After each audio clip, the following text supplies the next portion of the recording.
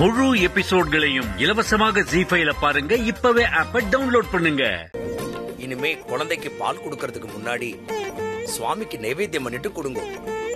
அப்பதான் கடவுளுடைய அனுகிரகம் பரிபூர்ணமா குழந்தைக்கு கிடைக்கும். சரிங்க சாமி. அப்படியே பண்ணிடுறோம். ஏண்டி எதுக்கு இந்த ராசாத்தி வந்து இப்ப குறுக்குல தேவையில்லாம பேசிட்டு இருக்கா? அவ ஆயிரம் பேசினாலும் செய்ய போறது நாம தான் அதெல்லாம் நீ பெருசு பண்ணாது. விடுமா. நாளைக்கு நடக்க போற ஹோமத்துல குழந்தையோட அப்பா அம்மா மனையில உட்காரணும்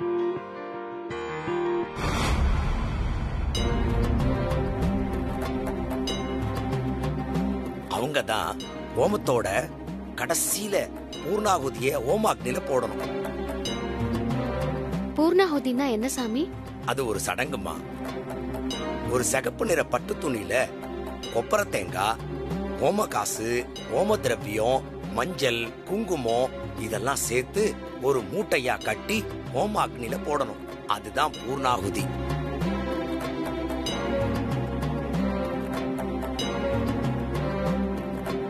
சரி நாளைக்கு ஹோமத்தை நடத்திடலாம்.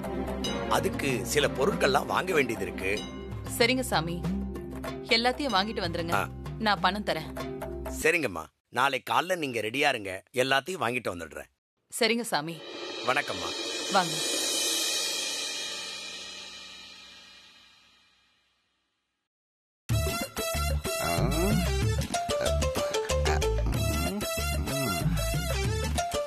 யோ நில்லு? இப்ப நீ எதுக்கு குட்டி போட்ட பூனை மாதிரி அங்கேயும் இங்கேயும் அலைஞ்சிட்டு இருக்க? இல்ல பாக்கியம் உள்ளங்கை என்னமோ அரிச்சுக்கிட்டே இருக்கு. உள்ளங்கை அரிச்சா பணம் கிடைக்கும்னு சொல்லுவாங்க. அதான் பணம் கிணறு இருந்தா கூட. யோ? கையில என்ன வச்சிருக்கேன்னு பார்த்தல. என்கிட்ட பணமும் இல்ல ஒண்ணும் இல்ல. வேணும்னா இந்த கத்தியால ரெண்டு குத்து குத்தட்டுமா? அம்மாடி தாயே நீ எனக்கு பணமும் தர வேண்டாம். நீ என்ன கத்தியால குத்தவும் வேணாம். ஆமா இங்க என்னடி நடக்குது? யாரோ சாஸ்திரிகள் வந்து என்னென்னமோ சொல்லிக்கிட்டு இருக்காரு? அது ஒண்ணும் இல்லையா. பூமிகா பெரிய கண்டத்துல இருந்து தப்பிச்சு வந்திருக்கால அதுக்குதான் கணபதி ஹோமம் பண்ணணுமா.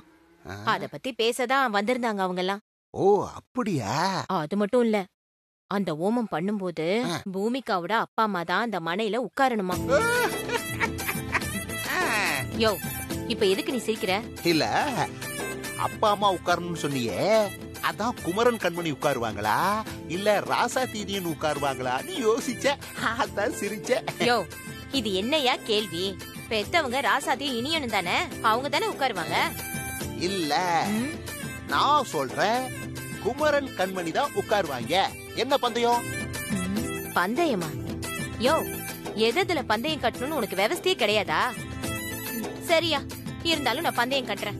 மரகதாக்கா ராசாத்தியும் இனியனையும் தான் மனையில உட்கார வைப்பாங்க. வேணும்னா நீ பாரு. அது சரி. அப்போ பந்தயம் அமௌண்ட் எவ்வளவு? அமௌண்ட் ம்? வேணா கோயம்பேடு பஸ் ஸ்டாண்ட பந்தயமா வச்சுக்கலாமா? ஏய் என்னடி சொல்ற? அது அரசாங்க சொத்துடி. தெரியுதுல்ல. பின்ன என்னய்யா? உன்கிட்ட செல்லாத காசு கூட இல்லாம தானே என்கிட்ட காசு கேட்டு கெஞ்சிட்டு இருக்க? இதுல பந்தய பணத்தை வர நீ எப்படியா கட்டுவ? முழு எபிசோட்களையும் இலவசமாக ஜி ஃபைல பாருங்க. இப்பவே ஆப்ப டவுன்லோட் பண்ணுங்க.